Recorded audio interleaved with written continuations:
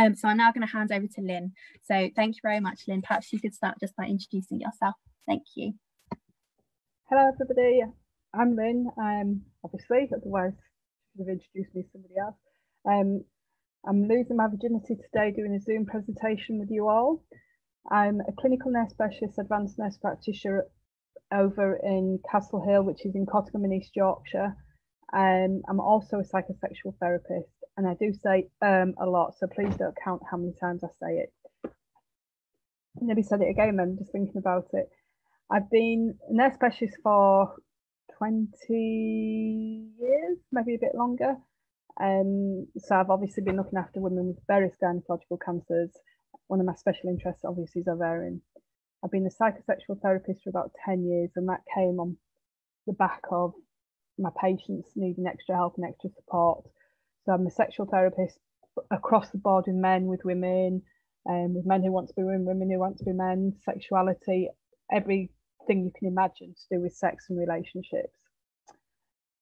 I've got a presentation that I'm going to do today, obviously.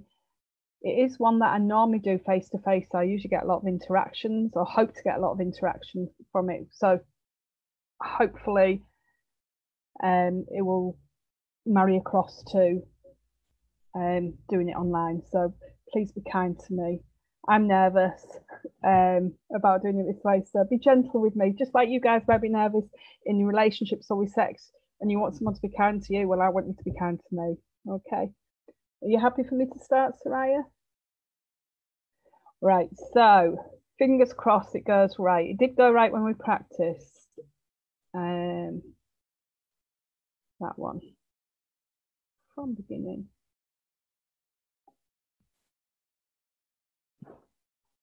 Right, thumbs up if uh, perfect. Thanks, Lizzie. So um, I've been asked obviously to talk about relationships and intimacy. Obviously, we are in very uncertain um, times. So how things have been three, four months ago are very different for lots of people now. Um, so the things I'd like to cover, so I'd like to look at relationships, the potential impact of ovarian cancer on your sexual health, on body image, on sexual identity, and on sexual function and hopefully to give you some practical advice on how to manage any sexual difficulties you've got, any communication difficulties, um, and answer the, any questions that individuals may have specifically to address some of their issues.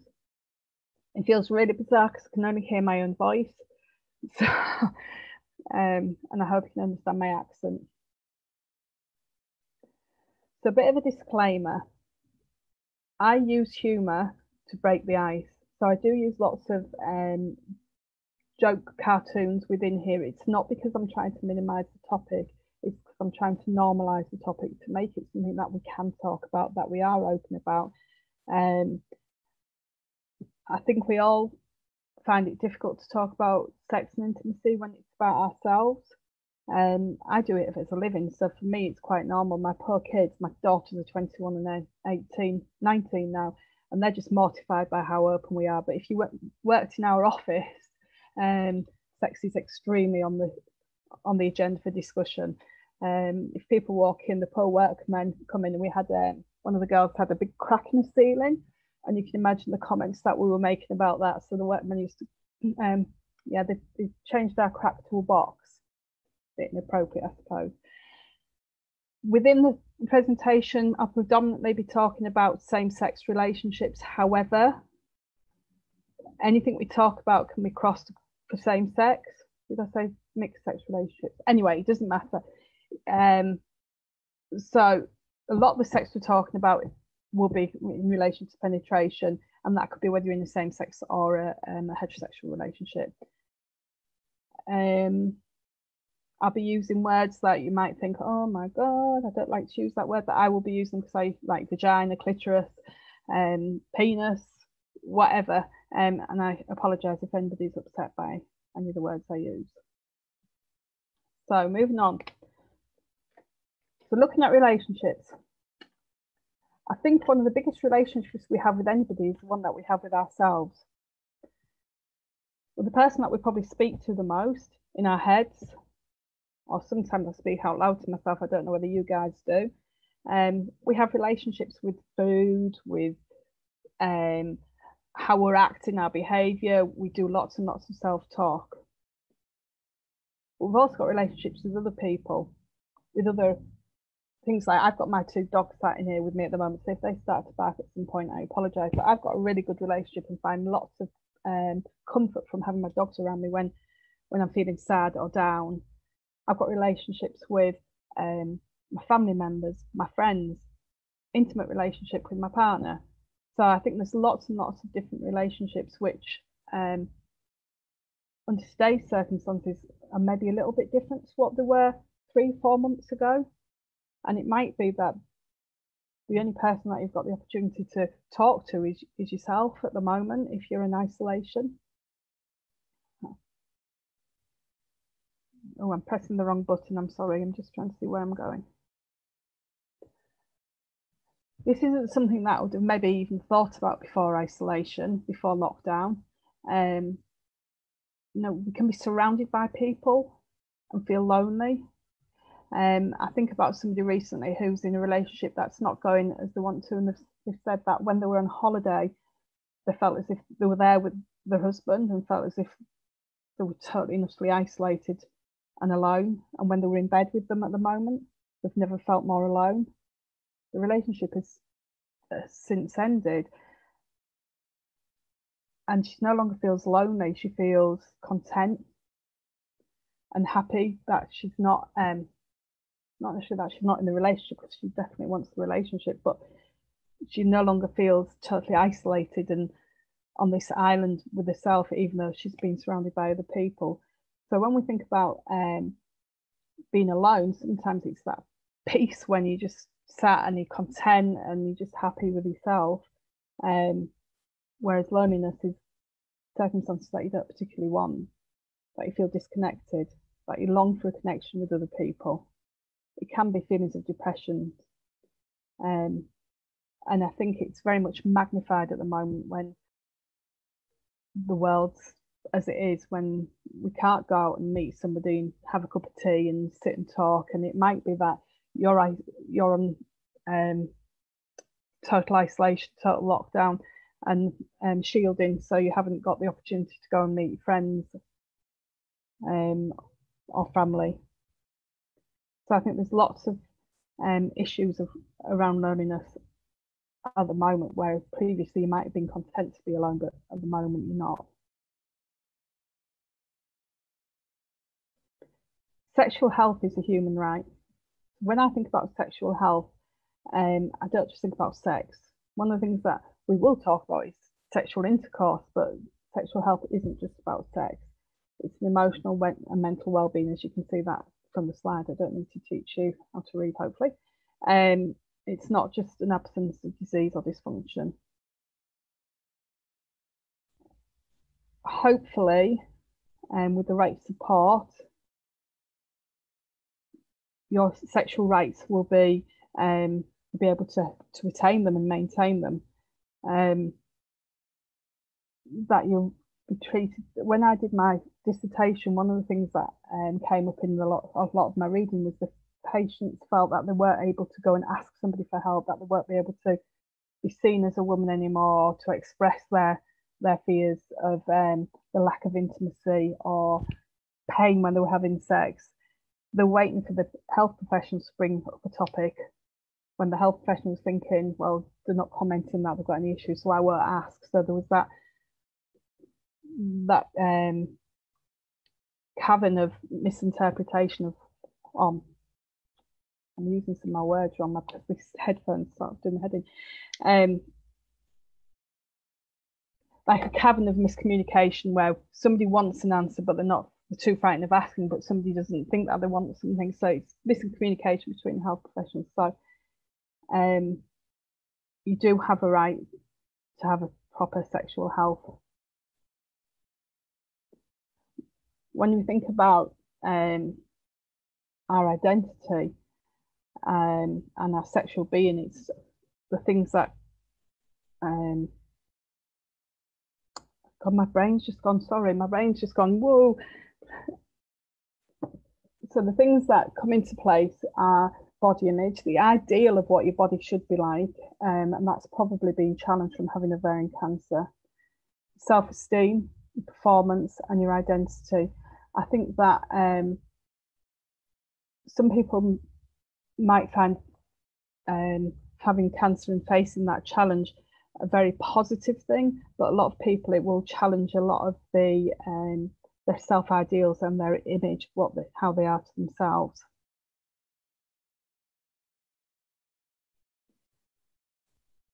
Body image, it's it's not just about how you feel about yourself. Sometimes it's um, it's not based on on fact. So um, other people may see us when we, we're dressed in, I don't know, our favourite dress and our hair's done, and we look absolutely amazing to somebody else. We might feel that we we look um, drab and awful, and it's your head that's giving you um, the impression. Some days we'll go out and we'll we'll feel amazing, we'll feel fantastic. Our hair is having a great hair day. Another day we'll feel really awful, and our hair feels to us that it's awful, but it's exactly the same to other people. So it's not necessarily that something's based on fact; it's based based on your emotions and what comes from inside. Sometimes it's learned from our surroundings that we should be, um, we're expected to look a certain way, to dress a certain way, to act a certain way. It can change as you age. I mean, I am literally only 25. So, but, um, you know, if, if I think back to when I was younger, I think as we become older, we become more confident. But that's maybe generalizing a bit too much. Um, there could be other influences, so biological influences it may be that we've got um, more wrinkles now, and so that changes how we feel. It may be that, you know, at the moment, if we think about lockdown, a lot of people aren't able to go to the hairdressers, so suddenly the hair's totally changed, um, and they, they now got more grey hair coming through, or brown hair coming through, or you know, your hair's regrowing because um, your chemotherapy is finished, and so your hair's coming back, but it's coming back different. It's coming back curly and wavy and coarser or thinner. So your images may change because of um, other influences.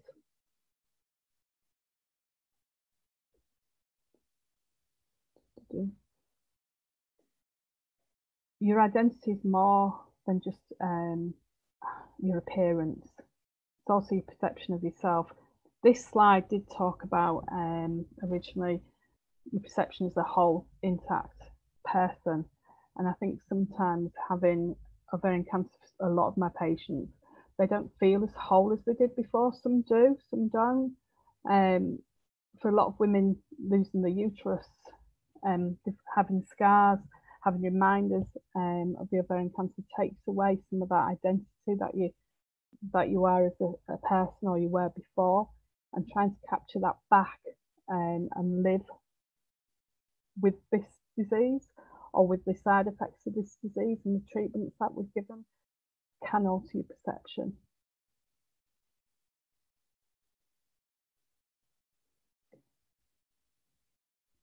Before having cancer, you probably a lot of women um, take on so many different roles. They're potentially mothers, the workers, the lovers, the friends, the Wonder Woman, they can do anything because that's what women do, don't we? We juggle all these different hats and all these different um, roles that make us who we are.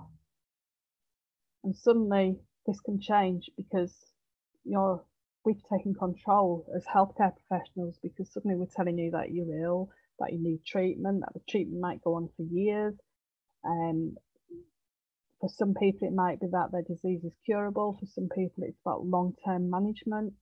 Um, so, lots of influences throughout um, the disease process can really change body perceptions because you may have to stop work.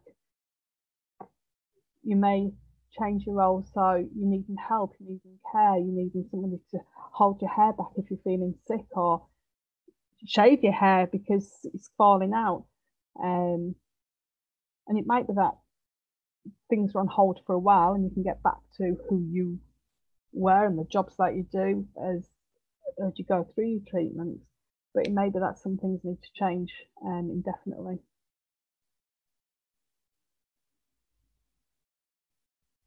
I found this article and I thought it was really, really, really powerful of a, a young woman who obviously had advanced ovarian cancer, who blogged her way through um, the treatment and how it just demonstrates, I think, I, I know a picture is just a, a picture, but some pictures have say a million words. I don't know how she's she copes emotionally behind all this, but um, for her it was a very positive experience to share.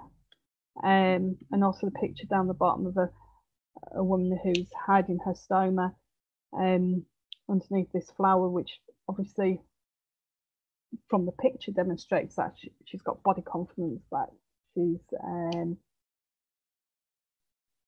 that, that she's been able to adjust to um, her circumstances.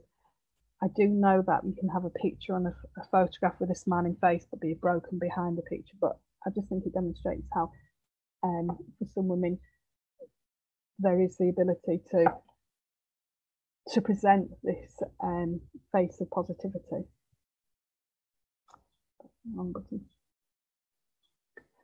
So I'm going to move on a bit to um, more on the sex and intimacy.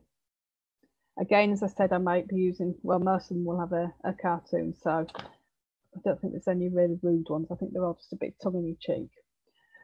So when we think about sex and intimacy, um, some people just class sex as sexual penetration, as um, as the act of intercourse. But sex is so much more than just the act of intercourse. It's the the touch, the holding hands, um, the kissing intimately, the touch. Often though, if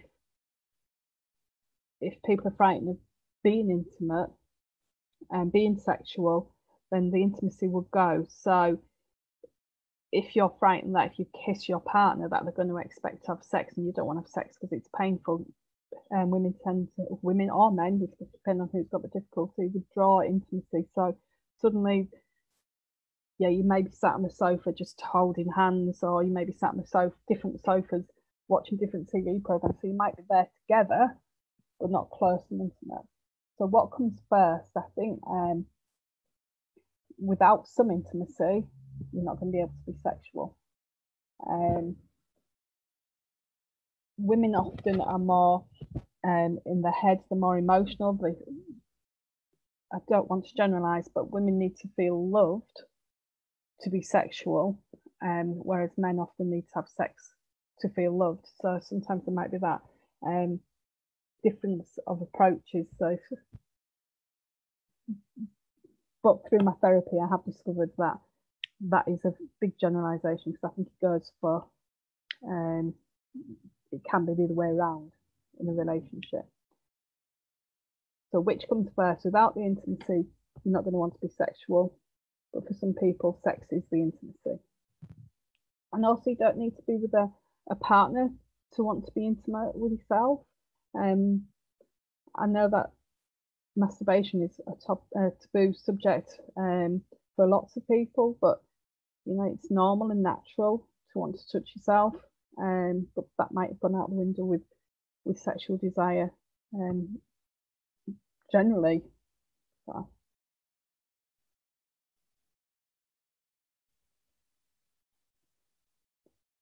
The changes as a result of ovarian cancer might be a result of changing lifestyles anyway. Um, relationships change anyway, but there could be physical changes, psychological changes, and relationship changes. So the physical changes I'm obviously going to go through, and um, some psychological changes we'll go through as we go along.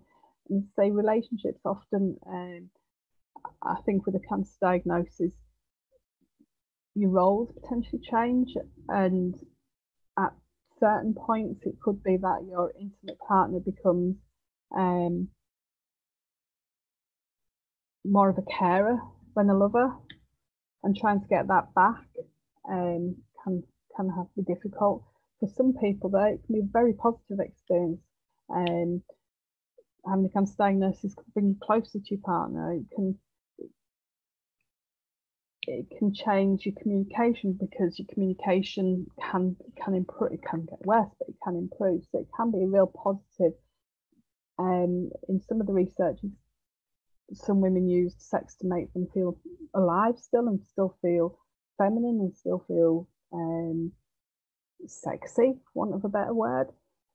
So it can be positive, but it can also be negative. And obviously, I'm going to be looking at more of the negative um, situations and how we can try and improve them.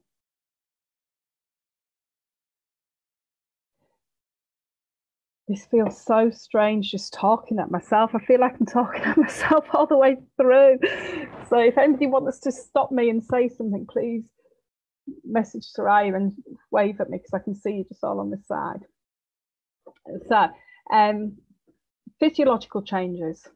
So, physiological things that can um, affect sexual function.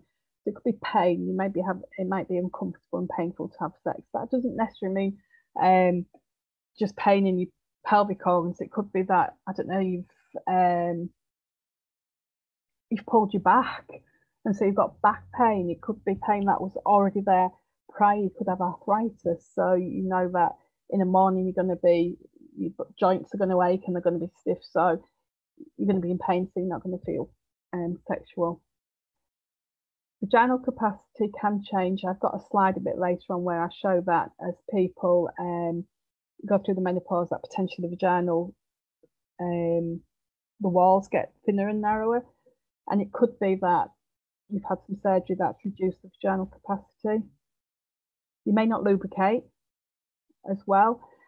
When women go through the menopause, lubrication um, reduces potentially and also when we think about stress anxiety um, situation if you're frightened of being sexual then your body doesn't naturally lubricate as well as what it would do if you were um, fully aroused.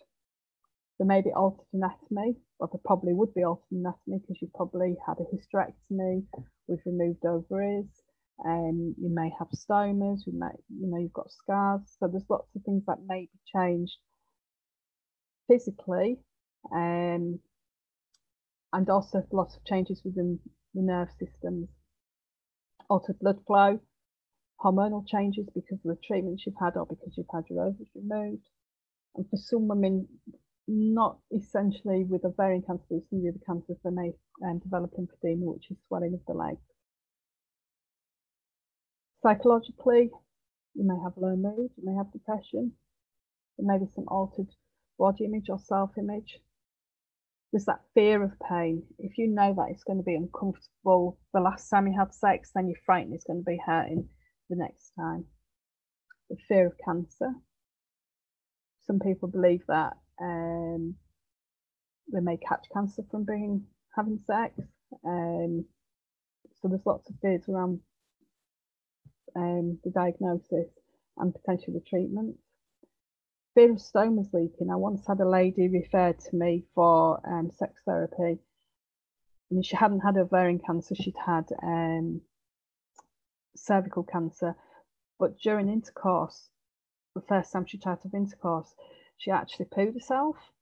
Um, and so suddenly she was so frightened that that was going to happen again that it just totally put her off sex. Um, once we managed to sort out her issues with um, the side effects of the radiotherapy and she was no longer um, incontinent feces, then the sexual problems disappeared. Drugs such as um, the SSRIs are antidepressants, they lower your sex drive, and also opiates make you less sensitive as well. Your interpersonal, so within your relationships, um, as we've already said about role changes, that you become less of the partner and um, needing more help. Fear of causing pain, so it might be a partner's frightened of hurting you.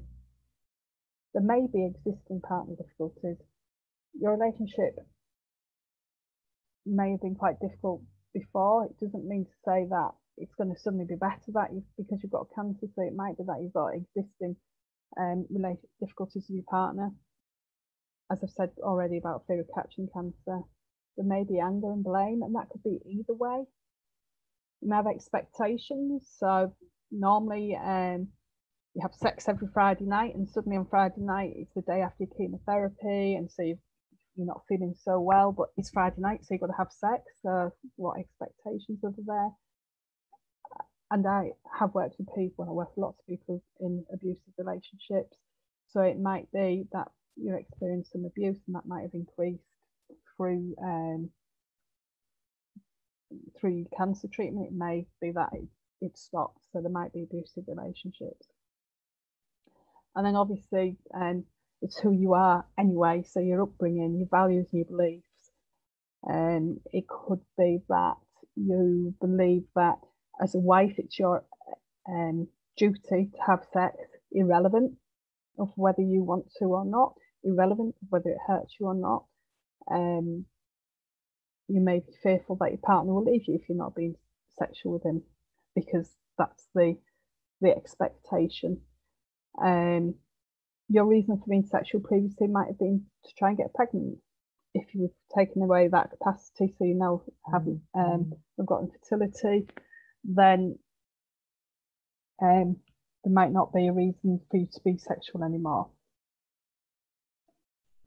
Cultural beliefs, religious beliefs. So there's lots of reasons why um, oh, why your the essence of who you are might influence your sexual um, willingness, want of a better word. So as I said earlier, there might be some physical changes. So I don't know, can you see the arrow? Soraya, nod to me if you can see the arrow as I'm moving it. Yeah. So here, obviously, this is still somebody who's got an intact uterus. This is actually endometriosis, but it's, it sort of like explains what I wanted to explain. So you can have things called adhesions, which are like really fine um, fibrous tissue that starts to connect um, tissues together that shouldn't normally be stuck. After you've had surgery or inflammation, because obviously cancer will cause inflammation, um, things can become stuck together. When you've had your womb removed, there is this space here that's left. Um, your vagina potentially will still be the same capacity. So your vagina, um, some tissue. Please don't be offended when I say this, but it's a bit like having a flat sock. That when you put your foot into it, it can expand. So it becomes a, a space as your vagina, but it's not essentially a space to begin with. Um, so your bowels potentially will come down and fill this area sometimes the vagina might be um, shortened because they may because of scar tissue or because they may need to take the top bit of the vagina off depending on um, where your cancer was. I can't see this one because you lot that ah, there we go on this side. Um, so it may be that we've taken part of your bowel out, so you've got a, a stoma attached. Here again, we've got adhesions that might be stuck in, and also around your vaginal entrance, there may be adhesions. So adhesions would be uncomfortable if um, if they're disturbed or broken. I'm just putting, sorry, I'm, you probably have gone through the menopause. You may have already gone through the menopause before you your cancer treatment. However, um, in the literature that I did for my masters, there was a lot of women who expressed that they're going through a second menopause so although they'd already had the hot flushes and all the things that went with menopause the first time they seem to, to be experiencing it again. Um, now you, you may be able to go on hormone replacement. There's different research at different times and lately we've started to use a lot more um, hormonal treatments for women with recurrent cancers in our um, hospital so if your cancer's uh, cancer's estrogen dependent, it may be that you're not able to have hormone replacement, um, and that's something that you obviously need to discuss with your um, oncologist or your gynecologist and somebody who specialises in menopause to see whether it's appropriate and safe for you to have HRT depending on, on your age and the um, potential benefits and risks. So through menopause, Earlier I said about your vagina becoming thinner. So if you imagine this one on this side, it's um, before menopause, you've got nice, big, juicy, healthy tissue. that gives you um, the capacity for your vagina to expand better. During menopause, how, or after menopause, these tissues become thinner. Okay, there's not as much um, fluid in there, there's not as much tension. I mean, if you look at my hand, I'm of an age where about 20 years ago, if I went like this, my tissues would be nice and healthy and plucked up. I've actually put moisturiser on this morning, but if I hadn't put moisturiser on, my tissue's very frail. Well, it's not frail because I'm, but it's frailer than what it used to be um, when I was 20 years younger. You may be able to have um, localized estrogen because it doesn't go into your bloodstream, which would be systemic, which would then influence um, any cancer because it literally stays within this area. But it might be that you need to use some vaginal moisturizers. I'm not advocating any specifically, but um, yes, do a, a vaginal moisturizer that you use daily. It's a bit like putting face cream on. I put my face cream on every day. If I don't, then um, my skin's really dry and a bit shriveled up, obviously, a bit like this um, red pepper up here. So, vaginal moisturizers are something you would use daily. Um, during intercourse or penetration, then using a lubrication would also help. But I'll go through that when we get back a bit further on when we go into the pain. Um, I've got a slide on pain and how to help with pain during intercourse.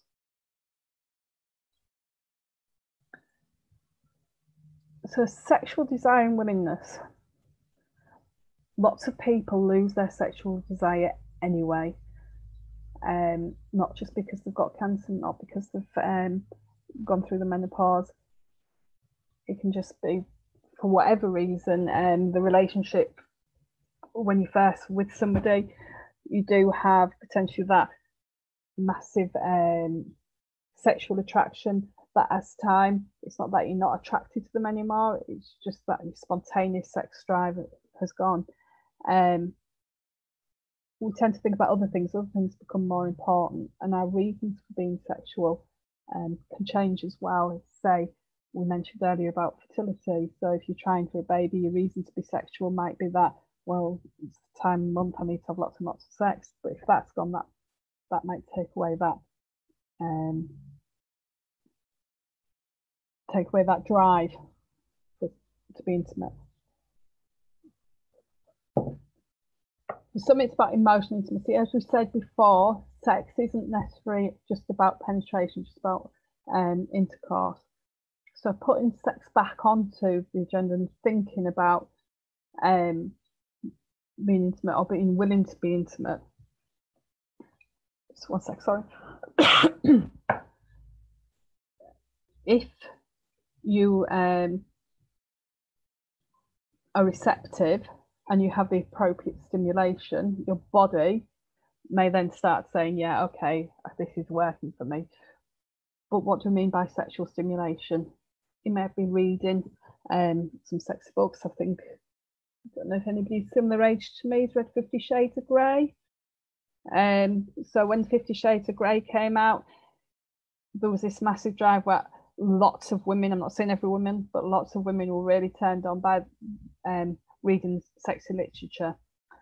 Women are more in the heads, where men are more visual. So it could be that you're watching, I don't know, um, I don't know what age everybody is. So I can only see about four people here. So somebody who's really sexy, doing something really nice and intimate and loving, it might be sexual stimulus. Is somebody um, making a cup of tea and just telling you that they love you and giving you a little peck on the cheek just because they want to. So whatever it could be a smell, could be when you go on holiday and you suddenly feel like that's to relax. So your sexual stimulus can be anything that um, makes your body relax and start to be um, what happens when you when you start to be sexual your body gets blood that comes down into pelvis um, your pelvic organs are engorged with blood and you get these nerve tingling sensations that make you feel horny, for want of a better word. Um, it doesn't work for everybody because it might be that you're frightened that it's going to hurt. So your body might not be receptive. But with the appropriate stimulation, it might be that you become aroused. And then whether that progresses to penetration or whether that's just a close, intimate relationship, um, kissing, cuddling, touching, fondling, get some emotional intimacy. So then you'd be more willing to be um, receptive to being intimate again. I think spontaneous sex drive is something that lots of people strive for. Um, but sometimes put, putting it on the agenda and planning to be sexual in the time what's right. Um, so if you've got a stoma and you know that your stoma is really active at eight o'clock at night, that's probably not the time that you're going to want to be sexual. But if you know your stoma is not active at 10 o'clock in the morning and your partner's able to be around at 10 o'clock in the morning, that might be a time that you're willing to be sexual. So planning things um, to work for you or after you've had, I don't know if you suffer with pain, that if you know that an hour after your pain relief, you're going to be okay. So making things work for you um, so that you're more receptive, more willing. But you might not want to have sex, and that's absolutely okay. You know, there's no reason that you should um, put yourself in a situation without that sex is an absolute must. That um, it's okay to not want to be sexual.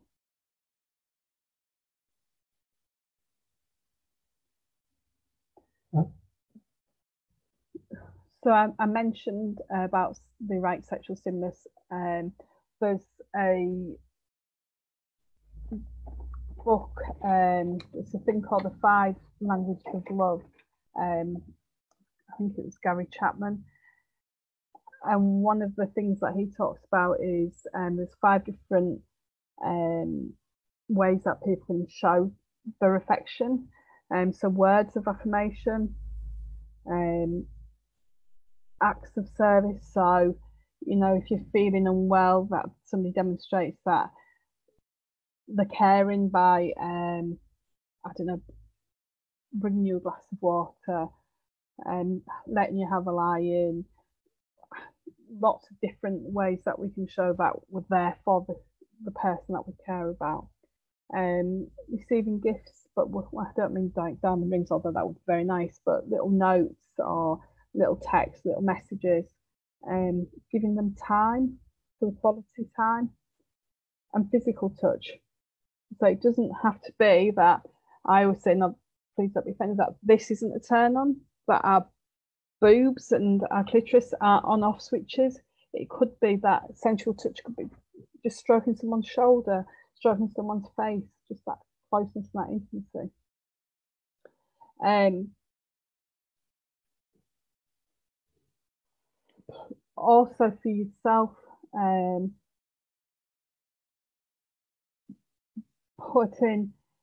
so when you think about um, sexy underwear lots of people's the, the thought process is oh i need to get dressed up for my partner well hang on a minute no it should be for you if you feel nice about yourself if you if you put something on nicer i don't know matching set of underwear and i'm not talking about peephole bras and clutches knickers. I'm talking about something nice, that a nice matching pair without. I don't know. I speak openly here when I say some of my underwear is sort of like I only wear it for work because it's my big Bridget Jones knickers and my comfy bra that's a bit looser.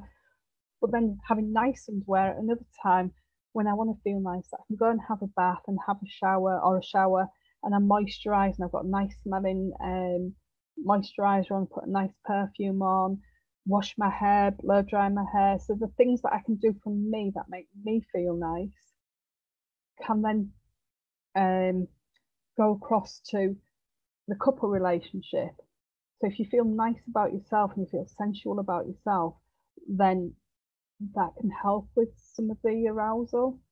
Um, so doing putting it on the agenda for you. So as we've just said about reading some literature, so putting it back on. So we think about sex rather than, oh, it's tea time, I'm going to have my cup of tea, and then, all right, it's seven o'clock, I better go have sex.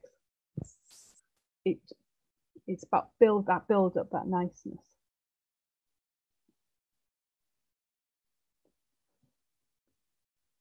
From a physical point of view, if your brain's not engaged and your brain's frightened, then it won't, your body won't work properly. So I'll say to my clients when people come in with the sexual pain, so you're walking in the room and I say, hello, how do you do? And I'll slap your face. You'll think, oh God, that was a bit, mm, why she done that? But she won't do it again, I'm certain. So the next time they come to see me, they walk in the room, I say, hello, how do you do? A slap your face. Suddenly thinking, oh my God, she's going to hit me. The time after the walk in, they're automatically hiding. So if you think that sex is going to be uncomfortable, your body's already moving away, your brain's already anxious about something. If you know that your partner normally goes to bed at 11 o'clock and he's going to bed at 8 o'clock because you know that he wants to have sex and you don't want to have sex, suddenly your brain's already saying, oh, I don't want to be sexual. Um, and so it basically might just turn your body off. So trying to get your body and your brain back into gear so it's all harmonious. Um, I think this one shows you that our brains and our bodies are connected. So if our brains aren't engaged, our bodies won't be. If you've got a, the adrenaline flowing, which is the fight flight because you're frightened of being intimate, then the blood will stay where it needs to be. It's in your arms, it's in your legs, it's not in your in your pelvis where where it needs to be.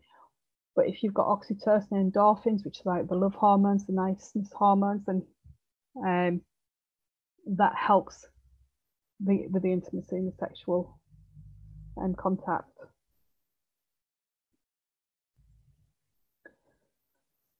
So the sexual pain, if I was to say now, right, you're about to to um, have sex and it's hurt previously, automatically you probably find that your pelvis would be squeezing and your vagina would be closing. So it's a bit like doing your pelvic floor exercises. Your pelvic floor is this one that goes from here from your coccyx at the back to the pubic bone at the front. Um, and it squeezes and tightens. Being able to relax that um, and pushing out your, your tummy and opening your vagina helps when you've been intimate. For some ladies, we have to do some vaginal training. I'm just conscious of the time. So some ladies we use, use vaginal dilators to, to train to help them relax. Um, sometimes doing relaxation exercises and what I call reverse pelvic floor exercises. So when you push your tummy out, you can't if you, you can't squeeze your pelvic floor if your abdominals are pushed out. So that helps. If you're going to be physically examined, if you push your tummy out, it helps with your vagina by um, relaxing the pelvic floor. I'm just conscious of time. Um, when you postmenopausal, it will take longer for you to orgasm. But sometimes the aim of sex isn't orgasm, the aim of sex is sexual satisfaction. So if you get that intimacy, that closeness, um, not everybody orgasms. It might take a lot longer. It might take um, after play or foreplay. Um, so you might need a lot more stimulation um, for a lot longer.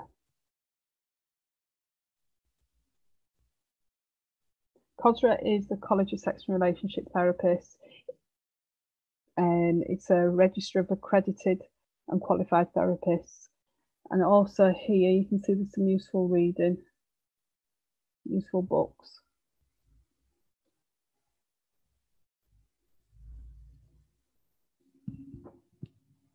Over to you. Wonderful. Thank you so much. That was great. Um, so to get us started on our Q&A, I think we've already had quite a lot of um, questions coming in. Um, so just to reassure you as well that if we don't get to your questions today, that our support line is still available, so you can speak to one of our nurse advisors about any concerns you might have. Um, so yeah, the support doesn't end today if you'd still want some support. Um, and yeah, just a reminder that you can also share any tips or strategies that have worked for you. Um, so to get us started, wonderful. Um, so someone has mentioned um, about their lower sex drive. So how can I get my sex life back if I no longer have a sex drive after a total abdominal hysterectomy? Um, and someone else has mentioned in the comments um, that hormone blockers have affected their libido and their vaginal dryness as well. Is there any suggestions you have for that, Lynn? Yes, both really. So how can you get your sex drive back? Um, putting sex back on the agenda. So thinking about sex, you know, like I said about reading literature, maybe watching um I don't know, romantic films. It depends on what it is that would float your boat. So starting to put that back on the agenda. Um, making your body more yours again. So I suggest to a lot of women that what they'll do is they'll go and they have a shower, spend an extra five minutes. Don't just go in, wash your hair, wash your body, get out. To spend time. Um, I know some people on treatment will have lost hair, but spend time washing with nice smelling. If you can't use soaps that are scented, use candles in the background. So um, when you're showering, spend an extra minute. So what does it feel like when you're touching your arm? What about if you're washing with a sponge? Um, asking, um, being aware of all your senses. So, what's it smell like? What's it feel like? What's it touch like? How do you feel? So, trying to get your body to be sensual for you. Um, as I said earlier about wearing nice underwear, um, just trying to reconnect and set some time aside. So, as I said earlier, it might be that you don't have spontaneous sex drive, but when you actually are willing to be sexual, that the intimacy and the touching um, starts to, to re-engage your body, open up the communication. It might be really difficult to speak to your partner, but watching something like sex education, which is really, really cringe-worthy, but it, it opens the conversation. Um, because you know what? They may be frightened. They may have similar issues. Um, there, there may be hormonal medication that you can take, but I would be very, very careful with that without discussing it with somebody. But re-engaging your body, listen to your body, being mindful. Um, don't multitask when you're being sexual because the problem is people multitask, don't they? It's like, okay, I want to be sexual, I want to be turned on, oh, I need to do the shopping, I need to do the washing, but be aware of your partner's touch. Um, and the dryness, I usually recommend using um, vaginal moisturizer regularly, but then using a combination of the oil based and the water based lubrication. So, oil, I excuse the crudity, but oh, I always think about vagina. Um, so, put some oil based on yourself and the water based on your partner and whatever you're putting into your vagina. So, it might be a willy, it might be a dildo, it could be anything. So, whatever's going in, put on the the water based on there. So I think of W for Willie, water based, and it's like a slide and glide. So using a combination, but don't stop sex and say, hang on a minute, we need to put our lube on, build it into it because otherwise it just, you lose the flow. So build it into the foreplay and lots and lots and lots and lots and lots of foreplay. And that doesn't just have to be clitoral stimulation because clitoris is really sensitive. It might be the rest of your body, your whole body being sexual. Perfect. Thank you, Lynn. Um, just going on from that, someone's asked um, about vaginal, moisturisers and lubricants and whether they're prescribed through the NHS. Um, I can see someone else has commented back and said that they get it through their GP, but just wondering if you can shed some light on that. Yeah, vaginal moisturiser is definitely prescribed and you should get it free. Water-based um, lubricants are prescribed. I've I use um, I get lots of free samples of yes, which is why I I sort of like give send the samples to my um, patients.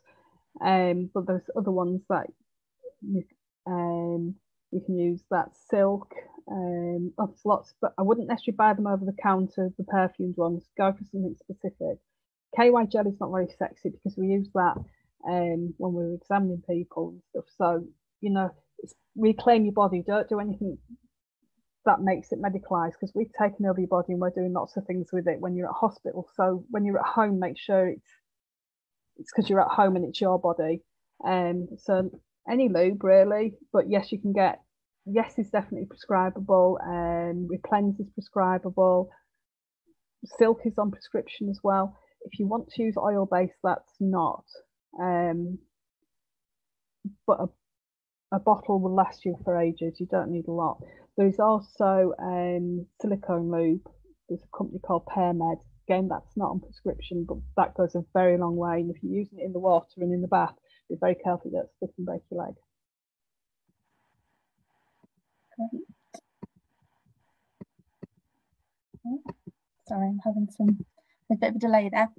Wonderful, thank you.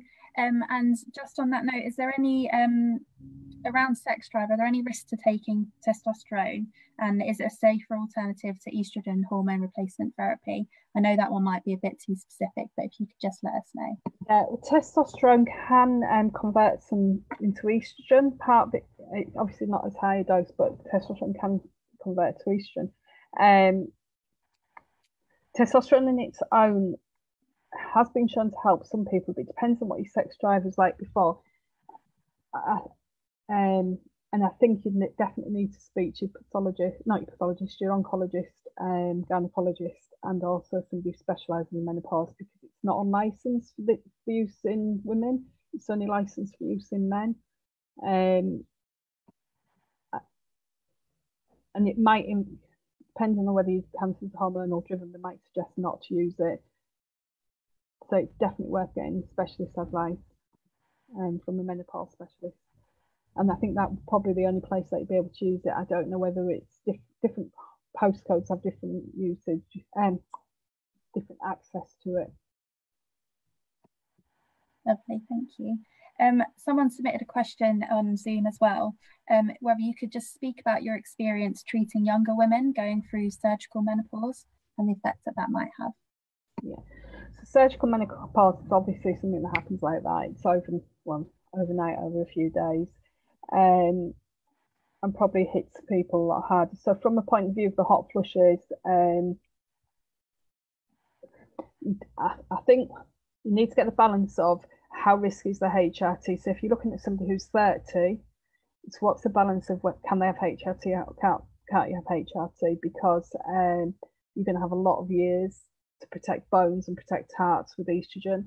Um, and it might be that your oncologist or your pathologist, um, I keep saying pathologist, I don't mean that. Yeah. Um, your oncologist or your gynecologist may not want you to have HRT at all, but it might be that getting the balance um, that the risks are outweighed by the benefits. Yeah, that's the right way around. Um, if not, venlafaxine, low dose antidepressant, will help with the hot flushes potentially. Um, a lot of mindfulness.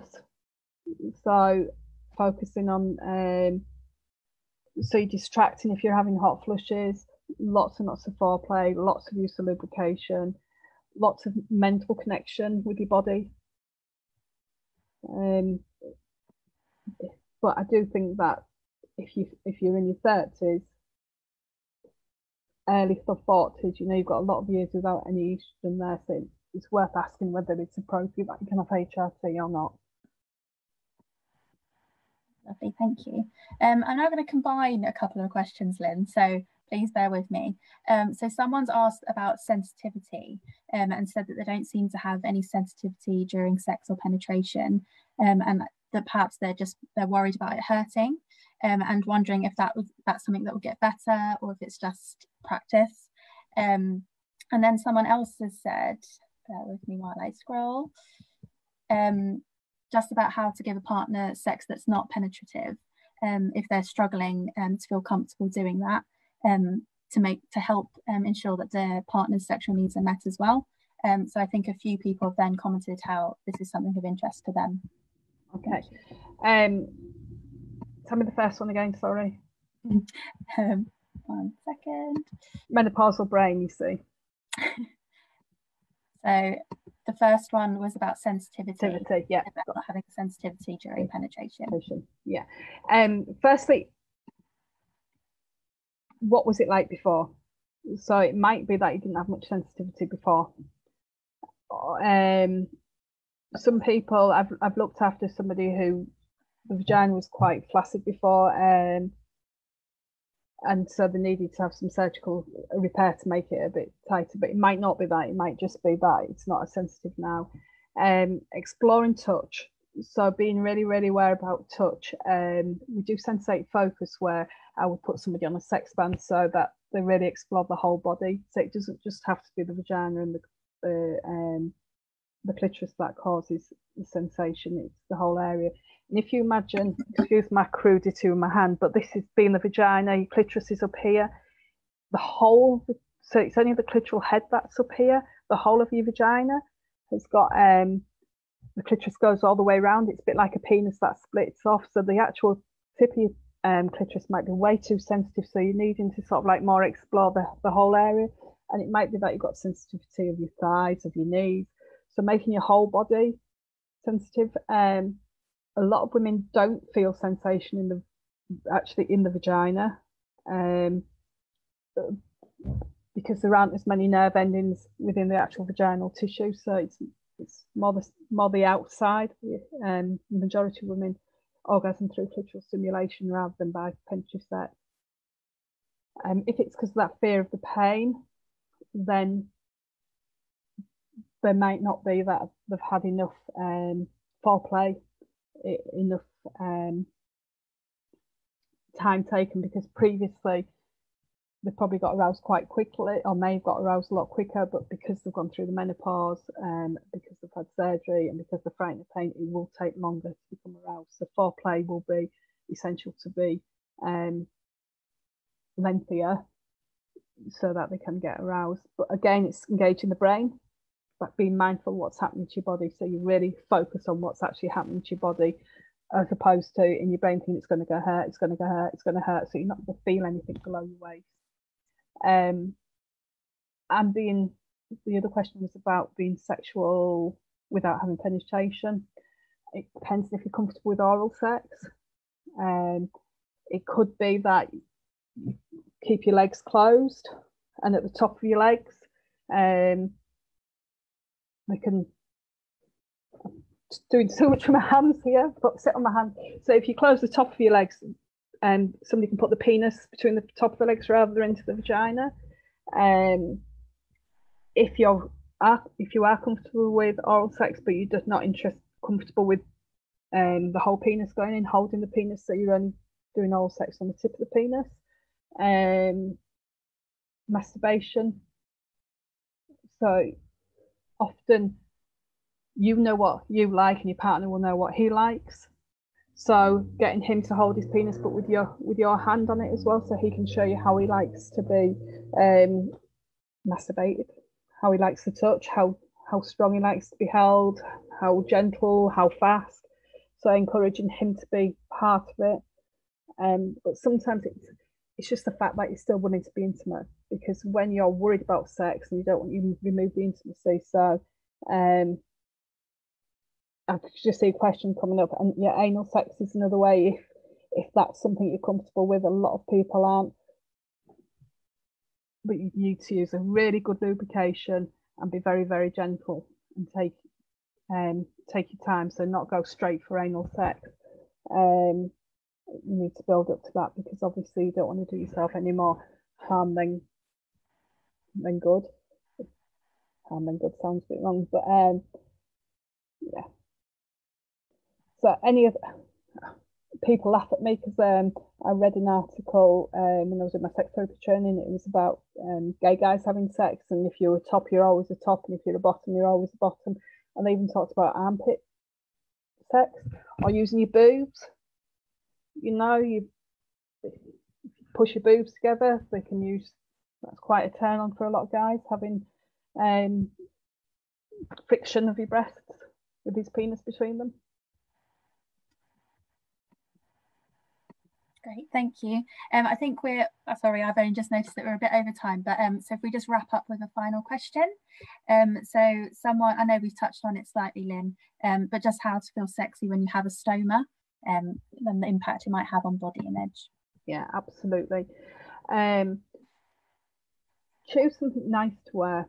You can buy some really nice underwear. So um, it doesn't have to be sexy underwear, as in you know, nipplerless bras or something, but you can buy um, a basque, a really nice basque, or wear um, a little cami top, a, a really nice, sexy, um, with, doesn't have to be sexy, but a real nice, silky, um, chiffony cami top, um, or sexy 90. I say sexy, but I'm on about sensual rather than sexy. But, you know, a little cropped um, baby doll pajamas, but without the the, bottom bits.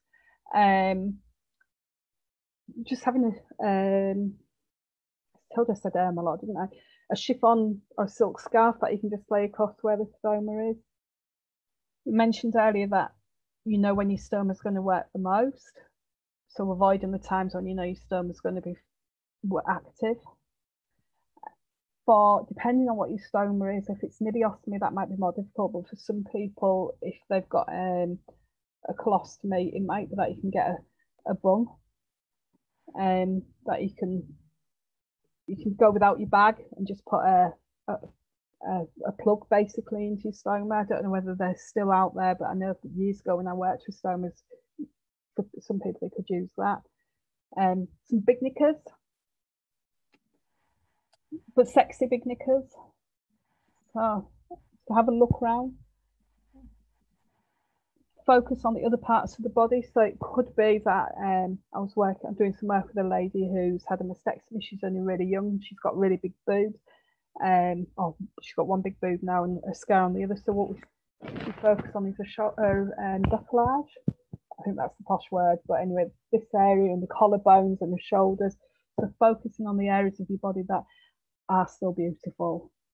Your whole body's still beautiful, but that you still think is beautiful and make friends with stoma because without your stoma, without being able to have that operation that gave you the stoma, we might not have been able to get rid of the cancer, and it, you know it's probably there to save your your life basically. So making friends with it. I don't mean saying hello, how do you do, obviously, but um, but yeah, some so nice things to wear, lace. You can even just make um an elastic type lacy thing that just goes around that you put on when you're being sexual. But concentrating on your whole body, on the good things. Great, thank you. Um, just a comment as well that's come in that someone's mentioned that there are very small bags um, that particularly for swimming that might yeah. be useful. Yeah. Wonderful. So thank you very much, um, Lynn, and everyone for your lovely questions. Um, I think we'll conclude our Q&A there. Um, just before we close, though, I would like to do just a little moment of reflection. Um, to just have a think about what the main thing you'll take away from today is. Um, so anything that you've learned today or anything that's been particularly important to you. Um, and while you're having a think, you can obviously type those in for us if you want to share, you don't have to. Um, but I just wanted to ask Lynn if perhaps you could um, share what you hope women will take away from today's session. Yeah. So I thought about this because obviously you mentioned it to me yesterday. Um, and I don't want to sound very cliche, but be kind. Be kind to yourself. Um, do the things that make you feel good, make you feel special. Um, because if you do that for yourself, then that will uh, flow over to other people in relationships. Um, put communication on the agenda. So say how you feel, ask how they feel. I think at the beginning I said, "Oh God, I'm really nervous, I'm really anxious," and you could see that to begin with. I was like, and you were all very kind. And um, so, you know, it's it's really important that you put yourself there. You're worth it. You know, be kind to you, be like yourself, because that will will pass pass across to your relationships. And um, if you are alone and isolated, then reach out to people. Okay. Just to read some of the comments that have come in. Um, so a lot of people have just said thank you, Lynn. So thank you, Lynn. Um, someone has said thank you for such an open and helpful and honest conversation. Um, someone has said um, their biggest takeaway is dressing up for yourself, having nice showers, and buying underwear that makes you feel good. Um, someone's mentioned it's nice to be reminded that all my feelings, insecurities, and challenges are normalized, knowing that others are going through the same. Um, what else we got? Um, someone said about putting sex on the agenda and really planning for it mentally, um, which is great. So thank you, ladies, for sharing your um, takeaways. That's really helpful.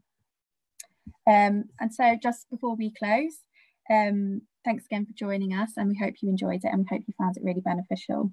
Um, if you have any further questions, I'd like to um, highlight our support line. Um, so actually, my colleague Rachel, I think, is in our here with us. One second, I'm just going to ask her to introduce herself so that you know who you're speaking to, because I know that can help sometimes. Hi, Rachel. Do you mind introducing yourself? Hello, everyone. I'm Rachel. I'm one of the nurse advisors. Um, yeah, just to say that we are here on the support line. You're very welcome to give us a call, um, either about things that have been discussed um, during the session today or anything else related to um, your experiences. Um, I'm here until the end of the day tomorrow, and my colleague Val is back again on Monday, and we would love to hear from you. Great, thank you. Um, so if you do want to call our support line, I will share that in an email with you after the session. But if you want to jot it down now, it's 020 7923 5475. Or if you prefer to write things down, which I know some of us do, um, you can go to targetovariancancer.org.uk forward slash support and you can then fill in a little form for us. Um, I will be sending out emails after today's session, perhaps later this afternoon. Um, I will be sending a feedback form, so we would love to hear your thoughts on the session.